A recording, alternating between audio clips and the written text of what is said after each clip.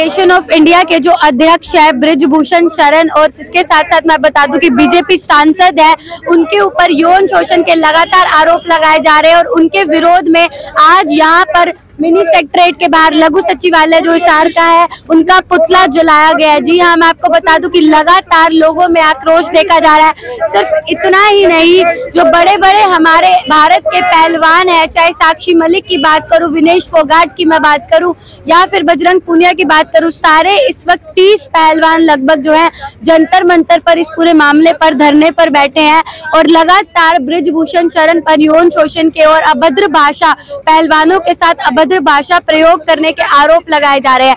इसके साथ साथ कुछ समय पहले देखा गया था कि हरियाणा के जो खेल मंत्री है, संदीप सिंह, उनके ऊपर भी रेप के आरोप लगाए गए थे।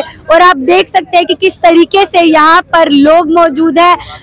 जनवादी महिला समिति मौजूद है और यहाँ पर लगातार जो है उनका पुतला जलाया जा रहा है और लगातार विरोध प्रदर्शन किया जा रहा है। अभी फ़िलहाल हम उन्हीं से बातचीत कर लेते हैं और जान लेते हैं कि क्या पूरा से हम देख सकते हैं एक तरफ़ बीजेपी सरकार कहती है बेटी बचाओ बेटी पढ़ाओ बेटियों को खेलों में आगे लाओ और दूसरी तरफ़ हम देख सकते हैं कि बेटियाँ ही लगातार आरोप लगा रही है। अध्यक्ष हो, चाहे कोई भी हो, चाहे मंत्री हो, चाहे कोचेज हो, उन पर लगातार आरोप लगते हैं यौन शोषण के। तो किस तरीके से देखते हैं आप? अगर यही चलता रहा तो फिर तो बेटियाँ किसी भी चीज़ में आगे नहीं बढ़ पाएँगी। बढ़ पाएँगी। इनका असल में ना, ये जो इनका संविधान है, जो इनकी सोच है, ये इसके पीछे काम करती है। और इन्होंने महिलाओं को बिल्कुल एक टारगेट कर रखा है। कि उनको इतना मजबूर कर दो। कि वो अपने आप रास्ते से हट जाए। हम तो इसको डागर को सलाम करते हैं इन महिलाओं को जो जंतर मंतर पे जाके बैठी हैं और जो अपनी मान सम्मान की लड़ाई को लड़ने के लिए और वो भी एक शासन प्रशासन सत्ता के साथ जो लड़ाई कर रहे हैं। हम सल्यूट करते हैं उन लड़कियों को, क्योंकि अगर ये ये लड़कियाँ हौसला नहीं करती हैं तो हमारी बहुत सारी लड़कियाँ जो है, वो इस तरह से अपना भविष्य खो देंगी, अपना चमकता हुआ जो जीवन है उसको खो देंगी। क्योंकि कैरेक्टर एक ऐसी चीज़ है जिसको लेके वो सम्मान सहित इस समाज में रह सकती है। तो आपको क्या लगता है कि क्या इस पूरे मामले पर सरकार जो है वो एक्शन लेगी प्रशासन जो है वो एक्शन लेगा या दूसरे मंत्रियों की तरह इन्हें भी छोड़ दिया जाएगा या फिर झूठे आरोप बता दिया जाएगा कि झूठे आरोप थे देखो मैडम, ऐसे नहीं छोड़ सकते, क्योंकि ये जनता की डिमांड है और महिलाओं के सम्मान के साथ ही चल सकता है। एक तो और दूसरा, हम 22 तारीख को भी उधर जाएँगे, पंचकुला जा रहे हैं इनके समर्थन में कि उसको गिरफ़्तार किया जाए। तुरंत प्रभाव से गिरफ़्तार करना होगा, ये जनता की मांग है। और ये महिलाओं की, लड़कियों की, ये सबकी डिमांड है। बाईस आने वाली बाईस तारीख को। हम्म, क्रिमिनल को ये बचा नहीं सकते। आने वाली ये परसों ही है। 22 तारीख को हम पंचकुला जनवादी महिला समिति विभिन्न संगठनों के साथ एक अपनी जो है उनको गिरफ़्तार करवाने के लिए स्पेशल प्रशासन के सामने वहाँ जाएगी। जी तो जहाँ पर एक तरफ़ अध्यक्ष को अध्यक्ष को इसलिए बनाया जाता है ताकि वो उस खेल को आगे बढ़ा सके। लेकिन अगर इस तरीके की चीज़ें सामने आएँगी तो वो खेलों को लेकर लोग और पिछड़ते जाएँगे। जो परिवार है जो माता पिता है वो अपनी बच्चियों को डर के मारे आगे ही नहीं करेंगे। इस पर क्या सोचा? देखो ये सरकार तो चाहती नहीं कि लड़कियाँ आगे आए क्योंकि इनके संविधान में ही नहीं है ये चीज़। ये जो अपना जो मनु का जो संविधान लागू करना चाहते हैं, उसमें ये चीज़ है ही नहीं। इसलिए तो ये महिलाओं को पछाड़ने का काम कर रहे हैं। और हम ये कहना चाहते हैं कि जनता इनकी चालों को समझ रही है। वो निराश समाज को नहीं होने देगी। लड़कियों को निराश नहीं होने देंगे। और ये संगठन बहुत मज़बूत है। हमारी संस्थापक यहाँ पे खड़ी है जनवादी महिला समिति की जो बिमला चौधरी है। आप इनसे भी अपना वो कर सकते हैं क्योंकि ये एक संघर्ष का रास्ता है। महिलाओं के लड़कियों के अधिकार का जो रास्ता है हम पीछे नहीं हटेंगे।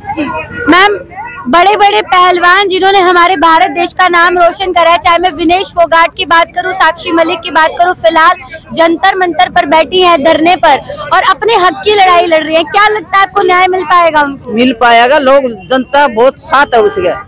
खिलाड़ी आगे सारे, पूरे जनता की, लोकसभा में जो वो संसद मेंबर है, उसको हटाना चाहिए सरकार को। शर्म की शर्म की बात तो ये है। उसको गोद में लेके बिठाए रखे मुख्यमंत्री। बहुत गलत कर हैं वो।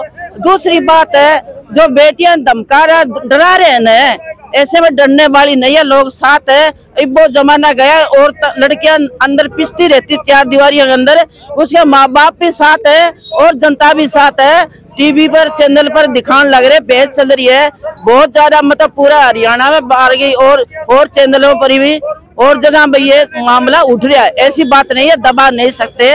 आगे आएँगे जनवादी महिला स्थिति तो कंधा कंधा साथ ले साथ चलेगी और हम पीछे नहीं हटेंगे हम न्याय दिला के रहेंगे इस लड़की को। जी आप सुन सकते हैं 22 तारीख को जो है जनवादी महिला समिति जो है पूरे हरियाणा प्रदेश की पंचकुला पहुंचेगी और इन महिलाओं का जिन्होंने जो खेल खिलाड़ी हैं जिन्होंने आरोप लगाए हैं इनका साथ देने के लिए इनके साथ विरोध प्रदर्शन करने के लिए वहाँ पर पहुँचेंगे।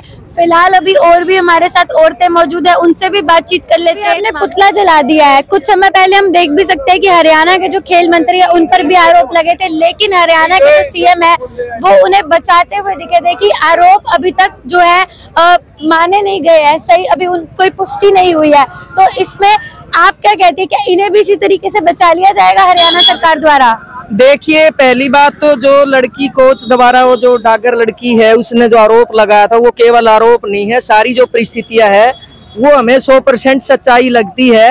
और इससे आप अंदाज़ा लगा सकते हैं कोई लड़की इतनी हिम्मत नहीं करती और जिसने आरोप लगाया जाँच की बजाय सरकार ने पहले उसको क्लीन चिट दे रही है। अरे तुम जाँच तो करो उस लड़की को हरास किया जा रहा है उस परिवार को हरास किया जा रहा है ताकि और कोई लड़की हिम्मत ना करे न्याय की आवाज़ की। इसलिए हम ये कहते हैं हम सल्यूट करते हैं लड़की डागर को। और वो वो नहीं अभी विनेश फोगाट साक्षी मलिक वो दिल्ली में जंतर मंतर के ऊपर आई है न्याय की लड़ाई को लेके। और आप देखिए कि वो सांसद निर्विरोध चुना जाता, बीजेपी का सांसद है वो। और वो अध्यक्ष बनाए जाते हैं। ये बीजेपी में आप जब देखोगे, क्योंकि संदीप के ऊपर खेल मंत्री पर इसलिए कार्रवाई नहीं करते, करना चाहते कि अगर उसके ऊपर कार्रवाई होगी तो भाई बेरा ने किस किस के पतड़े खुलेंगे उरे? और भी बहुत मंत्री संतरी मिलेंगे। इसलिए उसी को दबा दो। न्यू कौन मेरा कि कब तक दबाओगे? जब ये लड़कियाँ खेल में चार चाँद लगा सकती हैं अपने दम पे तो क्या न्याय के लिए नहीं लड़ेंगी? इसलिए हम खिलाड़ी बेटियों को सल्यूट करते हैं, हम उनके साथ हैं और इस सरकार से जवाब मांगने आए हैं। ये बलात्कारियों की सरकार नहीं चलेगी और इनका नकली ढोंग नहीं चलेगा। ये बेटियों को न्याय देना होगा, नहीं तो ये बेटियाँ सड़कों के ऊपर आएँगी, लड़ेंगी और केवल बेटियाँ नहीं है, तमाम महिलाएँ, न्याय चाहने वाले लोग हैं, सब इनके साथ हैं। चलिए, बिल्कुल सही बात बोली है इन्होंने कि आप देख सकते हैं, फ़िलहाल अगर बेटियाँ खेलों में जीत सकती है, आगे बढ़ सकती हैं तो बेटियाँ अपने खिलाफ हो रहे कामों के लिए आवाज़ भी उठा सकती है, यौन शोषण के ऊपर आवाज़ उठा सकती है, गाली गलोच अगर उनके साथ हो रहा है तो आवाज़ उठा सकती है। फ़िलहाल आप सुन सकते हैं कि पूरा जो प्रदेश है वो इस पूरे मामले पर विरोध कर रहा है प्रदर्शन कर रहा है और इस पूरा घटना की निंदा करता है। देखने वाली ये बात होगी कि प्रशासन इस पूरे मामले पर क्या कुछ एक्शन लेता है। इस वीडियो को ज़्यादा से ज़्यादा शेयर करिए। जुड़े रहिए आधार न्यूज़ हरियाणा के साथ। सामान एम पर नहीं डिस्काउंट पर लो। और हिसार में डिस्काउंट कहाँ मिल रहा है? ये जानो सेल ट्रेंडिंग डॉट कॉम पर। Visit sale trending dot com पहले कंपेयर करो फिर शॉप करो।